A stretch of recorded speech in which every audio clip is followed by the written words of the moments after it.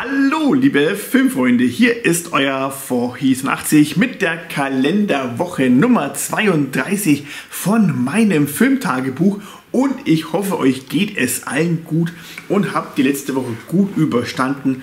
Und ja, bei mir ist jetzt schon die zweite Woche rum von meinem Urlaub. ich könnte heulen. Diese drei Wochen vergehen wie im Fluge. Und auch letzte Woche haben wir auch extrem viel unternommen mal wieder. Und ja, trotz alledem ein paar Filme haben wir uns reingezogen. So viele waren es eigentlich gar nicht, aber dafür eine ereignisreiche Woche. Wir fangen an mit dem 9. August, denn da habe ich mir den Film angeguckt, Pakt der Wölfe. Vorher war ich aber noch im Fitnessstudio, drei Stunden und noch in der Sauna noch gewesen. Also insgesamt dazu natürlich entspannt. Und dann war ich abends echt im Eimer. Und irgendwie Trotzdem wollte ich Pakt der Wölfe angucken. Ein Film von dem guten Christophe Ganz, der auch sein Till gemacht hat. Und bin einfach mal komplett bei diesem Film eingeschlafen. Deswegen am nächsten Tag habe ich den letzten Rest noch gerade wiederholt. Und hier geht es eben um die Bestie von äh, Chervandor, das im 18. Jahrhundert äh, passiert ist. Hier geht es eben um eine Bestie, die eben 100 Menschen dahin gerafft hat und diese beiden hier vorne müssen eben, Ermittler müssen herausfinden, wer halt eben die Beste ist und sie auch erlegen. Ob es also hin oder nicht, das erfahrt man in diesem Film. Der Film ist auf jeden Fall schon mal sehr interessant, geht 150 Minuten in Director's Cut und diese habe ich mir auch angesehen. Es gibt noch die normale Kinofassung, die geht 7 Minuten kürzer. Aber der Film ist ein schöner Fantasy-Horror-Mix, kann man sagen. Aber obwohl ich eigentlich recht lange Filme mag, hat diese Filme ein paar Längen. Muss man gestehen, was sonst würde ich nicht auch sofort einschlafen. Okay, ich war wirklich im Arsch. Aber trotz alledem, der Film, der Schluss vor allem, hat mich auf jeden Fall schon mal sehr begeistert und habe mich über diese Bestie auch mal ein bisschen informiert über Wikipedia. Also hier erfährt man ein bisschen mehr noch darüber. Und der Film bekommt von mir 8 von 10 Punkte. Viele finden ihn langweilig. Ja, hat seine Länge auf jeden Fall, aber ist auf jeden Fall mal einen Blick wert. So, am 10. August war meine liebe Frau mit ihren Eltern dann äh, in ihrer Heimatstadt und haben dann die Wohnung ihrer verstorbenen Oma ausge, äh, ausgeräumt. Und ich war dann mit meiner lieben Maus namens Emma unterwegs und habe da ein bisschen einen Ausflug gemacht, nämlich in, äh, in der Umgebung gibt es nämlich hier einen äh, ausgenommenen Vulkan namens der Raue Kulm in Weiden ist der in Richtung Weiden muss man fahren. Und gerne die Uhrzeit, Dinosaurier, sag ich, komm, Emmerchen, wir fahren jetzt mal zu einem Vulkan, der erloschen ist. Oh, ein Vulkan, da ist doch Lava und alles. Aber kann auch Lavasteine sein. Du kannst so viel Lavasteine sammeln, wie du willst. Das mach ruhig, mach ruhig, mach ruhig. Dann sind wir hochgelaufen, äh, waren auch gut dabei, also haben ungefähr anderthalb Stunden gebraucht. War auch gut zu Fuß mit kleiner Maus, haben wir auch Hunger gehabt, haben wir trinken, essen. Aber wir haben ja Zeit gehabt, war nicht so schlimm hochgelaufen, dann waren wir da oben auf der Plattform, da war es sehr windig, wieder runtergelaufen und dann noch zu dem kleinen Kulm gegangen. Es war auch eine kleine Aussichtsplattform, aber da hatte ich ein bisschen Angst um uns beide, denn da sind wir dann geheißen, ja Achtung, Absturzgefahr und hier ging es wirklich, also an dem Weg ging es ja wirklich richtig steil runter. Und so, okay, komm, ich halte dich mit beiden Händen fest, dass mir nichts passiert. Da war oben so ein, ja, so ein Bergkreuz. Da ich, Emma, du stellst dich jetzt dahin, wir machen ein Foto, ja, und das war's dann. Und du bleibst stehen und bewegst dich keinen Millimeter. Haben wir es dann gemacht, hat auch wunderbar funktioniert. Also wir sind alle runtergekommen, wie ihr seht. Und ja, war auf jeden Fall ein wunderschöner Ausflug mit ihr. Und dann wollten wir noch Eis essen gehen. Und dachte, ach, irgendwie, jetzt zieht es hier zu. Schauen wir mal, ob die Olchis noch laufen. Weil die Olchis, ja, interessieren mich ja selbst im Kino. Aber Olchis waren komplett ausverkauft durch die ganzen Hygienemaßnahmen, war ringsum um jedem besetzten Platz hat eben schon wieder belegt, beziehungsweise halt eben ja, gesperrt worden. Und dann sagte er immer zu mir, Papa, gehen wir wohl ins Kino? Ich, naja, eigentlich jetzt nicht, eigentlich wollte ich mit dir jetzt äh, Eis essen gehen. Papa, bitte, schau mal, wir haben jetzt, jetzt tut eh gleich anfangen zu regnen. Ja, ab und zu kann ich meinem lieben Kind auch nichts abschlagen. Und äh, okay, komm, dann machen wir es halt so. Geh mal nochmal ins Spirit frei und ungezähmt, du hast diese Filme so gemocht und du wolltest immer mal mit ins Kino gehen, kann ich auch mit dir reingehen. Ja, natürlich, Papa, wir gehen im Spirit. Ja, da ist so schön. Papa, der, ist, der wird dir auch so gefallen. Der Papa, der ist so schön. Jetzt blende ich mal ein Bild ein. wie ihr meinen Gesichtsausdruck seht und hier von meiner kleinen Maus, die natürlich extrem gut drauf ist. Ähm, ja, Film angeguckt, geht 86 Minuten. Mein Kind war natürlich total begeistert davon. Ich muss gestehen, ich ziehe wirklich diesen alten Film von 2005 vor. Einfach erstmal durch, was gezeichnet worden ist, durch die Musik von Brian Adams. Einfach wunderschön. Allein schon der Anfang von diesem Film, von dem 2005er, ist einfach überragend. Und hier haben wir wirklich halt sehr viel Animation, ist Animationsfilm oder wirklich auch mehr für die Kinder gedacht, dieser ganze Film. Ums Reiten, um Gefühle. Naja, er ist auch jetzt nicht so schlecht, wie ich eigentlich gedacht habe. Der Film bekommt von mir 7 von 10 Punkte, spielt er auch im wilden Westen, kann man sagen. Und von daher kann man sich den Film auf jeden Fall schon mal angucken. Dann habe ich gehofft, haben wir also nur Eis essen gegangen natürlich noch und dann sind wir dann wieder heimgefahren, habe eigentlich gehofft, okay, ich darf mein Kind ins Bett bringen, aber da war meine Frau schon zu Hause. Denn seitdem halt meine Frau zu Hause ist und halt krankgeschrieben ist, wie hier in den Knien, naja, ist halt nun mal an der Mama, hängt halt immer, immer an der Mama. Und ich liebe es eigentlich, mein Kind ins Bett zu bringen, einfach mit nochmal zu kuscheln und einfach nochmal den Tag Revue passieren zu lassen. Aber sie will einfach ums Verrecken nicht. Und das macht mich einfach wahnsinnig. Aber gut, dann dachte ich mir, okay, Kind und Frau schlafen. Dann ziehe ich jetzt mal eine neue Filmreihe rein. Und zwar, äh, ja, diese beiden Filme habe ich mir vorgezogen. Ich wollte einfach den anderen Film angucken, aber auch die können natürlich dazu. Nämlich Mortal Kombat aus dem Jahr 1995 und 1997. Und zwar erst Mortal Kombat und dann Mortal Kombat Annihilation. Ich hoffe, ich spreche dann richtig aus. Aus dem Jahr 1997. Der erste Teil geht 101 Minuten und der zweite Teil geht 95 Minuten. Und ja, was soll ich zu diesen Filmen sagen? Nämlich nicht viel, denn davon gibt es auch demnächst auch ein Filmreihenvideo für euch. Und ob mir diese Filme so gut gefallen, das erfahrt ihr auf jeden Fall in diesem nächsten Video. Und ich habe eben diese beiden Filme angeguckt, einfach nur um einen einzigen Grund nochmal, um eben diesen hier anzugucken. Aber bevor ich den angeguckt habe, waren wir noch dann am 12. August dann noch in der Therme Erding. Ja, sind um halb sechs losgefahren, waren um halb neun unten und dann gleich in die Therme rein und dann von um halb neun bis um 10 Uhr, also um 22 Uhr in der Therme gewesen, Wellenbad. Bin jede Rutsche gerutscht bis auf eine. Ähm, und auch wirklich Außenbereich. Und es war einfach ein wunderschöner Tag. Mein Kind, Papa, es war ein Medaillentag, also besser als ein Goldtag, ein Medaillentag, ja.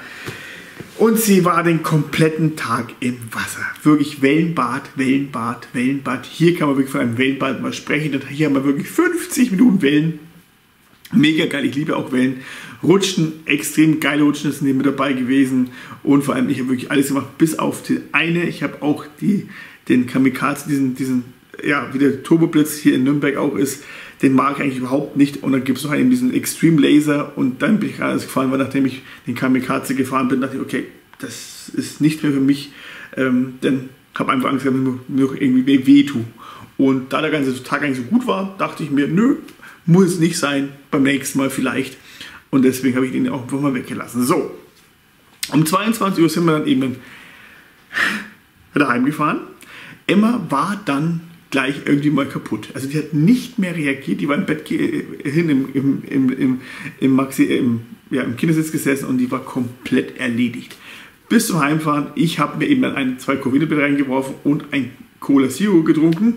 Ja, danach war ich auch noch fit, kann man sich ja vielleicht vorstellen. Ne?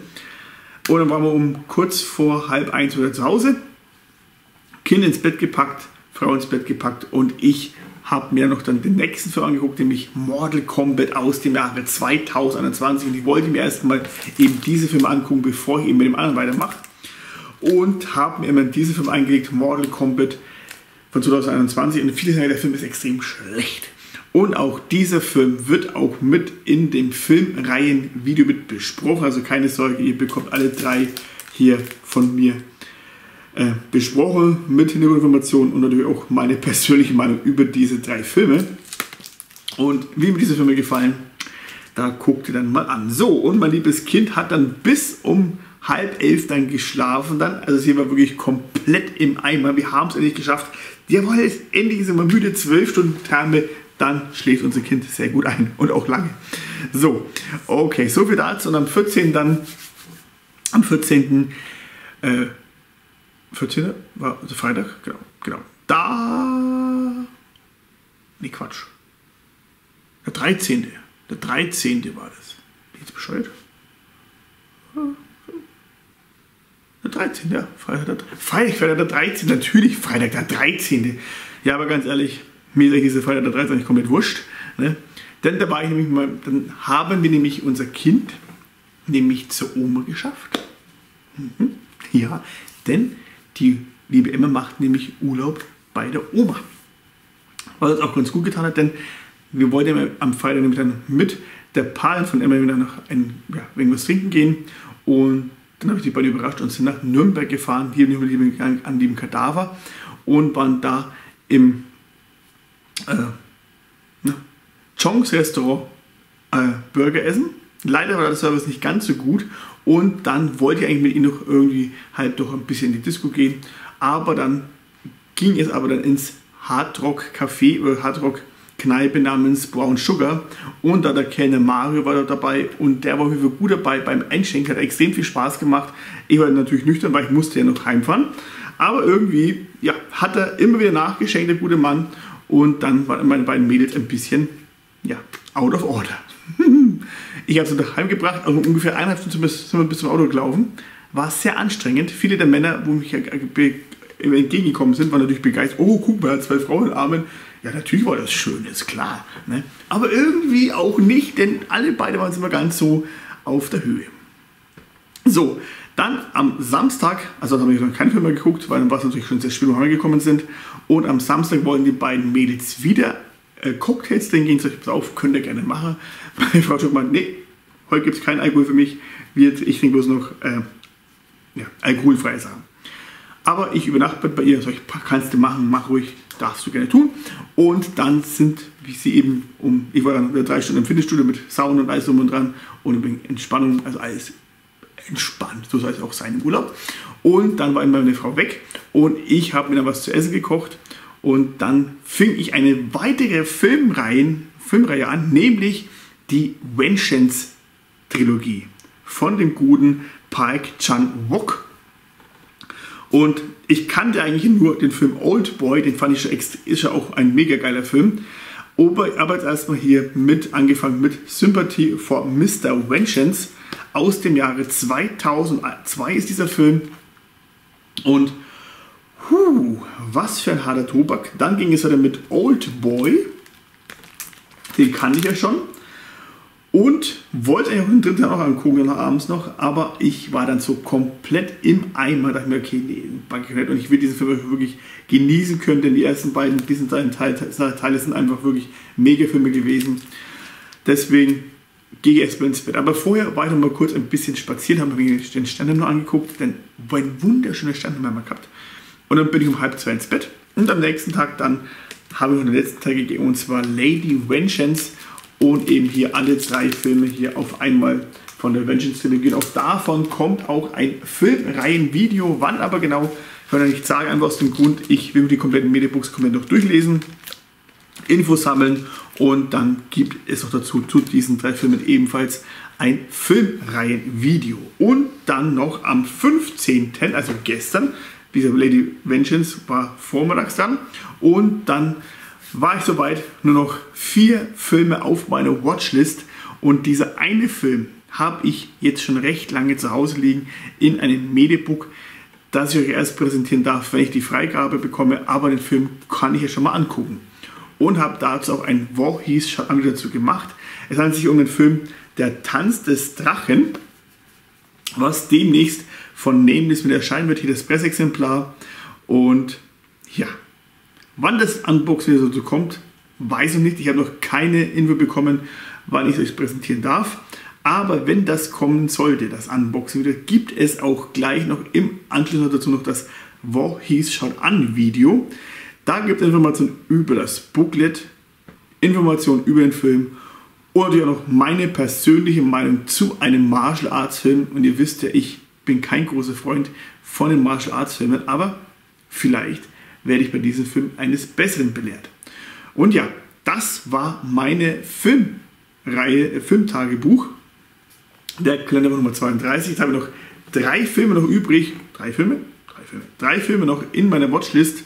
Und dann ist die Watchlist mir abgeschlossen. Und dann nur noch Filmreihen-Videos. Aber diese Filmreihen habe ich meistens schon, schon gesehen.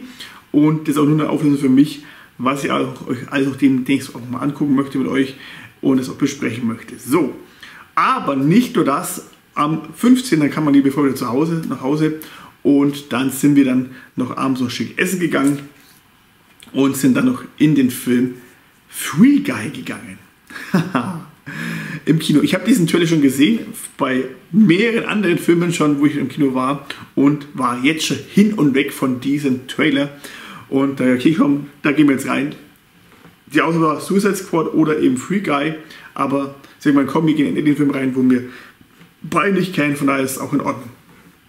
Und ja, ich wurde genau, ich habe genau das bekommen, was ich erwartet habe. Ein schöner, durchgeknallter, actionreicher Spaßfilm mit Ryan Reynolds in Hauptrolle. Um was geht es hier? Ja, um hier geht es um den guten Blue Guy, der ein Banker ist und ein tristes Leben führt. Doch plötzlich taucht eine Person auf mit einer Sonnenbrille, die das ganze Leben von ihm umkrempelt. Und dann beginnt eine Reise durch Magie und Fantasie. Mehr will ich dazu gar nicht sagen. Ich gehe in den Film rein. Es lohnt sich auf jeden Fall. Wir waren gerade mal zu viert im Kino. Sehr, sehr schade bei diesem Film. Wirklich sehr, sehr schade. Ich hoffe mal, es geht noch mehr in den Film rein, damit es kein großer Flop wird. Aber dieser Film hat mir wirklich sehr gut gefallen und ist genau mein Geschmack gewesen. Als Nerd, als Gamer hat mir hier auf extrem viel Spaß bei diesem Film. Bekommen wir mir 9 von 10 Punkte. Und ja, das waren nun meine Filme der Kalender Nummer 32. Welche Filme habt ihr euch alle angeguckt? Schreibt es in die Kommentare rein. Und dann sehen wir uns dann demnächst bald wieder. Bleibt gesund. Bis dann. Tschüss mit Ö. Und